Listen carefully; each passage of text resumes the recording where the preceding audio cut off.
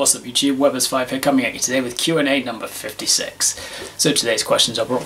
So today I've got two sets of questions, one from Dark Magician 84 as per usual, and I've also got a question from SparkTech today, so I'll go with SparkTech's question first.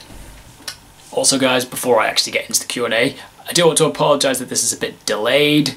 I spent last I spent last week I did I had a day with my best friend since this weekend I'm going away to the United States for two weeks, so I just wanted to catch up with some friends before I go before I go away. So that's what I did. So last week hung out with my best friend. Tonight I'm going to hang out with my gaming guys before I go away as well. But now that we've cleared that up, Q&A. So SparkTech has asked me, which characters from the Yu-Gi-Oh! anime do you associate with some of your friends from locals? For example, I will always associate our good friend Richie with Yugi himself because of his love for the Dark Magician. Well, yes, I agree with your point. I do agree with your point there that I would probably associate Richie with Dark with Yugi as well, because naturally, because as you said, he's a huge fan of Dark Magician. Also, he's an avid lover of classic Yu-Gi-Oh, so gotta go with it there. He also he also Richie also naturally plays lots of decks based around Yugi's monsters, so definitely like that. As for everyone else at locals, I'm not really too sure who I associate with which character, because frankly, I probably more associate players with specific decks that I know they play, as opposed to like characters. So, for example, most people, everyone knows me, everyone at locals pretty much knows me as an Endymion player uh, SparkTech, you, I would associate you primarily as Sword Soul. Uh, let me think who else. Max, I would probably associate with Infernity and Old Pearly. That being said, I do really know Max as an Infernity player, so yeah, I would pretty much very easily associate him with Kalin quite easily. Uh, but, but yeah, and also naturally Sean. I just know Sean as a Spright player, probably the best Spright player that I know. So yeah, I'm pretty much more of associating players with decks that I know that they use as opposed to characters from the anime, but it's possible good. So it is something that I could think about in the future, so I'll have, a, I'll have a keep that in the back of my head and have a think of it maybe while I'm away. And the last six questions are from Dark Magician 84 with a slight comment beforehand referring to the previous Q&A. Never knew that about fur hires, it seems I was misinformed. Sorry to put you through that question searcher. So, it's alright man. All good here? Question 1. As you know, me and Matt and Allison are really into September 2007 format games. What do you think it would take to get the guys at our locals interested in that format too? Uh, so as I recall, you guys told me that September 2007 is what was known as Perfect Circle. Um, I don't really know very much about that format, but I think in terms of getting people interested in it, I think that's essentially just a matter of asking the guys at locals what they would think about doing a format based around Perfect Circle. I could, I could also, I'm also down at Tabletop Republic tonight. I could maybe ask, I could ask them if for one of their alternate formats they'd consider doing September 2007. So yeah, I could I could supposedly have a at asking, but naturally also you could ask the guys as well yourself. Uh, two, you've played Cash Kashtira a lot lately. Have you given up on Endymion? No, I have. N I will never give up on Endymion as long as it is playable, and it is most certainly playable. I've only been on Cash Kashtira. I've only been on Cash Kashtira recently because when I was because essentially that was the deck. Once I started picking up bits from it and I pretty much had the deck sorted out, I decided this is what I want to play for the Masters, for my Masters 8 Invitational, so I just spent a lot of time playing the deck, trying to learn it, study it, get how I'm supposed to use it up here, to hopefully give myself the best chance of winning.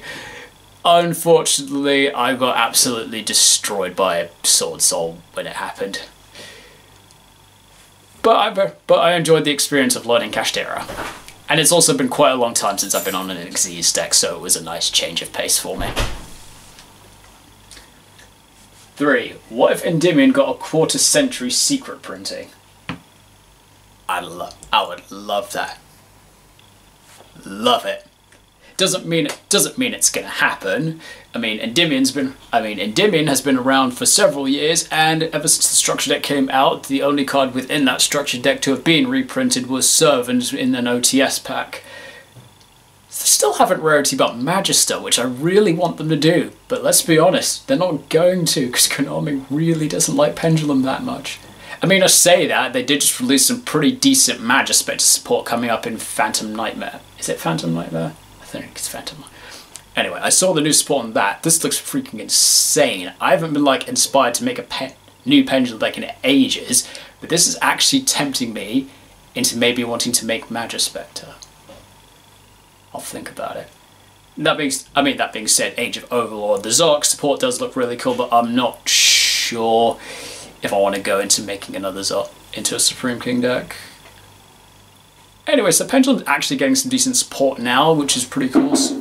So, I don't know, I'll just have to wait and see if I actually want to build anything around some new Pendulum decks. Four, can you believe it's been nine years since Pendulums came into the game? Yeah, that's pretty. Yeah, that's pretty mad. Like next, like next year will be next year will be ten years. Crazy, crazy. And Pendulums just had one of those very interesting journeys that they that at the time when they were released they were sub okay. Well, the, well, the first set they were like, cool, this is a mechanic, but it's not doing very much. New Challengers came out. Cliff. Next two sets, huge amount of Qliphort support. Then they started to dominate. Yeah, punch. So yeah, over the. So yeah, definitely been an definitely been an interesting mechanic and how they and how Konami's been with it. Like naturally during their full during their huge format, they were huge in it. Then then Konami decided they were too good and they got nerfed with the new Master Rule, which was justified because they were a little bit they were a, they are a little bit too good in that mechanic and now they're just a bit more balanced. Then throughout most of these of VRAINS era, we didn't really get a huge amount of pendulum support, like just bits here and there. And over the last sets, again, just here and there. But now, more recently, it seems like they are going for a bit more with pendulum, which I'm finding questioning as to why Konami is doing this. I'm not complaining, but it is questioning because they haven't really done a huge amount of pendulum support in the past few years. So yes, very interesting to see. Uh, five. If you could be in a movie of your choosing, what would it be? Oh, that is hard. That is hard to say. Like, I'm an avid, I'm an avid lover of Marvel films. I would love to be in a Marvel film, but then I'd have to run the risk of me just, you know, getting killed off. Additionally, I wouldn't. Also, I don't know what hero I'd want to be or what powers I would want to have. But that being, but that being said, in the newest updates in the MCU, naturally, Sam Sam Wilson has become the new Captain America. But I know in the com, I know like in the comics, there is has been some when he became Captain America, there was someone else that took over as the Falcon. So I probably wouldn't mind being the next. I wouldn't mind being the next Falcon. That'd be pretty cool. But that being said, based off the plot line, it's probably going to be Torres, based off the comics. Um, one thing I could potentially try and go for if I was to ever like get into acting, like wait and see if Marvel's going to do like the live action version of Spider-Man with Miles Morales. I think I could make a pretty decent Miles Morales as Spider-Man, but who knows? I probably wouldn't. But yeah, I think if I was to be in a movie, I'd probably want to be in a Marvel movie, even if I am just one of those expendable people that gets killed off very quickly. And question six. Of all the other ways of dueling, which is your favourite? The choices being Battle Royals, Tag Team, Endurance, Raid Boss. I know you only ever did one of these with your Evil Heroes, but I did it anyway. And Pegasus Challenge. Um. So from the ways that we've, so I am a big fan of battle royale. I am a big fan of battle royales. They're very fun. Sometimes, sometimes a bit annoying when people are like ganging up on someone usually me because I'm being unfair. But that's justifiable. I get it. It's not my fault. Can't help being good. big. I can't help being big-headed though, which I need to work on.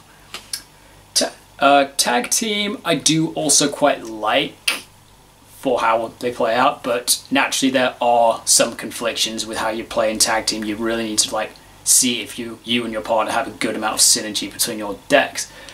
I think I remember for the first tag team tournament that they did at Dead Universe, I paired with my friend Sam, who was play and she was playing Yang Zing, and I was on Pendulum Magician.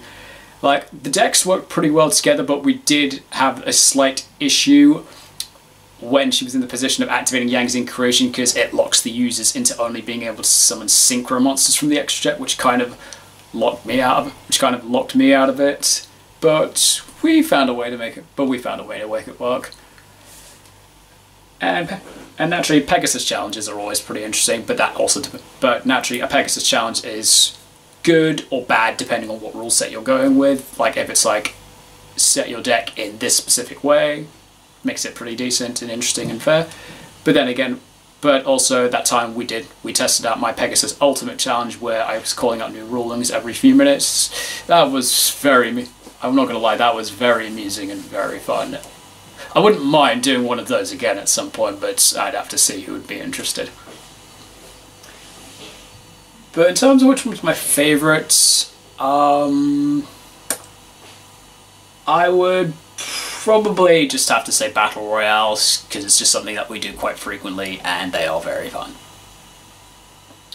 And on that note, guys, that's all the questions I have for today. So thank you very much, SparkTech and Dark Magician 84 for your questions. Very amusing as always. And if anyone else has any questions for me, I do these Q&As every, every Wednesday, often afternoon UK time. However, that being said, I will be missing out. I will be skipping over the next two weeks of Q&As while I'm away in the United States, but I will get right back into them as soon as I'm back, so get your questions posted and I'll get those sorted once I'm back. Thank you so much for watching, guys, and I will see you after my holiday.